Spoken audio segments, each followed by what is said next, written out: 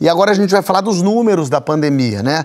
A gente ultrapassamos 4 mil mortos, já estamos chegando em 4.500 mortos aqui no, só aqui no Brasil, né? Agora, por mais assustador que isso seja, quando você fala assim, é 4 mil, você fala, ah, mas não, mas não é aqueles 50 mil dos Estados Unidos, não é 200 mil no mundo todo. Quando a gente começa a falar de número, parece que de alguma forma é, a gente suaviza um pouco. Não sei o quanto o número não assusta as pessoas, mas a, quando, quando começa a chegar perto da gente, quando esse número vira um nome, muda alguma coisa na nossa cabeça. Muda na sua? Comenta aí na hashtag Papo de Segunda no GNT, que a gente vai conhecer dois trabalhos incríveis aqui que transformam esses números em rostos.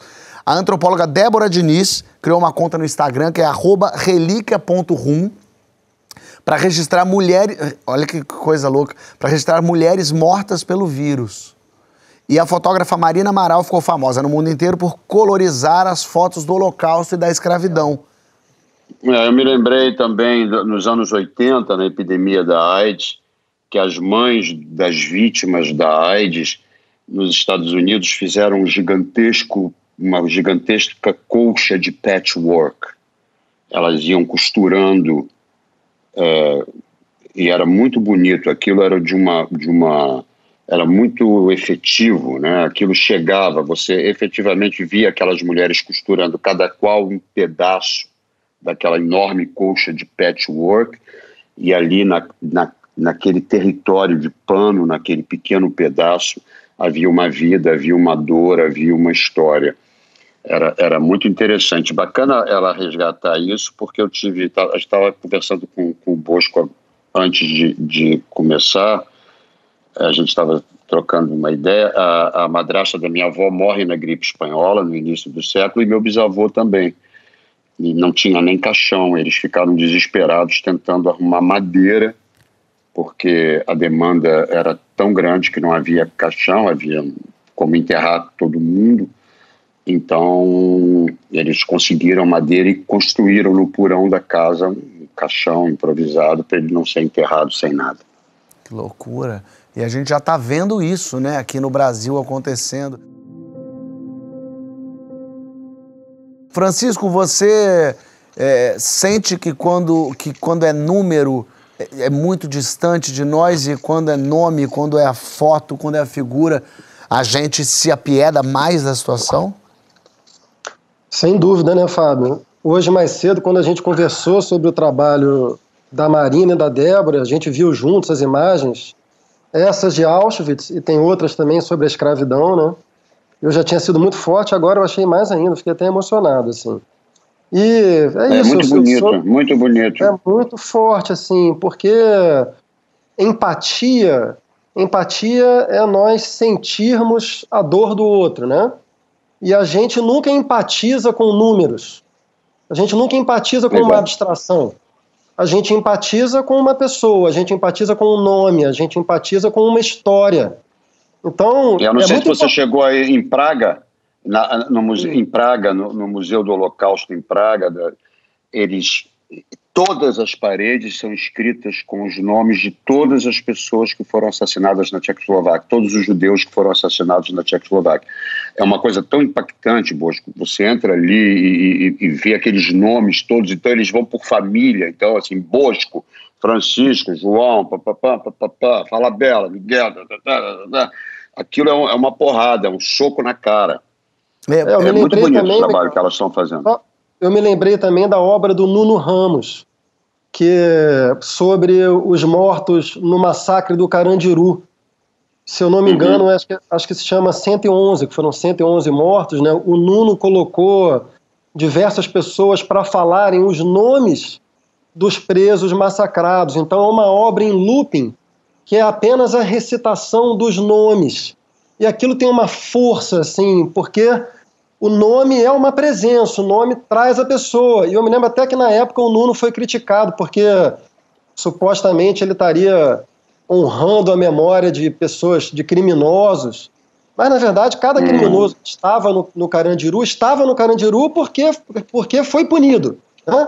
O que o Nuno estava fazendo era tentando criar uma obra que ajudasse as pessoas a perceber a responsabilidade do Estado pelo massacre que foi feito àquelas pessoas, né? Lógico. Eu já até falei aqui uma vez, eu fui a Ruanda e aí eu fui no Museu do Genocídio que tem em Ruanda e é Nossa, muito uma loucura. impressionante, é muito violento, mas mais que isso, assim, eles têm lá as pessoas que morreram, a, a foto das pessoas, a descrição de quem era a pessoa e como ela morreu. Então, assim, é, a menininha de 5 anos, aí tá lá, Carmen, fulana, fulana, idade 5 anos, mo- morta com uma facada no pescoço. Aí tem lá o outro, 20 anos, é, o Tibazo, e ele foi morto com um cano na cabeça. E aí isso dá uma. um- você toma um susto tão grande, tão violento, porque você entende que uma coisa. Morreram, um milhão de pessoas morreram no genocídio em Ruanda. Que loucura, que coisa horrível. Não, não, não. Essa menina, ela morreu com uma facada aqui, ó. Esse cara morreu com um negócio que enfiaram. E aí você vai respirando e entendendo a proporção do que aquilo vai tomando, a violência vai, vai chega mais perto de você. Eu acho que quando a gente olha para os números, a gente não conecta instantaneamente o raciocínio ao buraco que aquele número pode significar, entendeu? Então, quando a gente lê 4 mil mortos, 5 mil mortos, 1 milhão de mortos, a gente acaba se relacionando com isso de uma forma mais fria. É, a gente pode lembrar, por exemplo, da tragédia que ocorreu, se não me engano, no Rio de Janeiro no ano passado, daquele músico que tomou 80 tiros e que até hoje a pessoa responsável por puxar esse gatilho segue impune na rua. O Estado brasileiro deveria ser responsabilizado por esse tipo de crime. É, quando a gente, vamos dizer assim, dá uma espécie de zoom e coloca os olhos em cima desse tipo de história, mostra que ali você tem um, um músico, um pai de família, um marido, um pai, um amigo, você traz essa história para perto das pessoas e aí você quebra esse, é, esse distanciamento que a estatística pela estatística gera, sacou, meu parça? É, a partir do momento que a gente entrega uma vida, acho que as pessoas conseguem entender melhor o tamanho e a profundidade do buraco que nasce com a ausência de cada uma dessas pessoas. Imagina você fazer uma conta hoje e pensar quantas pessoas você conhece na sua vida. Uma conta simples. Não dá 4 mil pessoas, sacou? Seu círculo social não compõe 4 mil pessoas. E aí a gente acabou de perder 4 mil pessoas na realidade desse país, sacou? Eu acho o trabalho da Mariana incrível e agora assistindo aqui na televisão foi muito louco mesmo. Como que ver a foto ir do preto e branco pro colorido? Puta, encheu meu olho de água aqui de novo, sabe? Você olha Não, aquilo ali e você fala, caramba, parece com fulano que eu conheço, parece com ciclano que eu conheço, sabe? O Brasil, é, o trabalho que ela fez com, com a escravidão também é, pô, é uma série maravilhosa, sacou?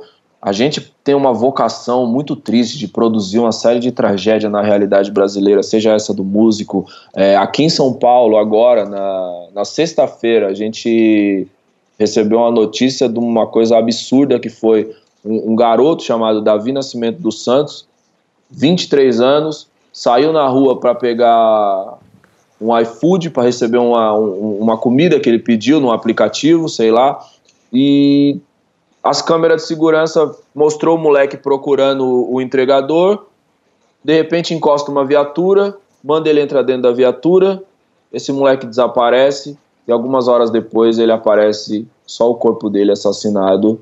E a polícia diz que foi uma resistência à prisão, sabe? A gente, quando olha esses números da realidade brasileira, a gente tende a olhar para isso de uma maneira muito fria, e essas pessoas são 70% de tal lugar, são 30% de tal lugar, são 50% de tal lugar, são 20 mil não sei o que. Não. O nome do moleque era Davi Nascimento dos Santos, ele tinha 23 anos, e a última mensagem de celular dele foi combinando com a namorada que ela podia já baixar o filme, que ele só tinha ido pegar uma comida.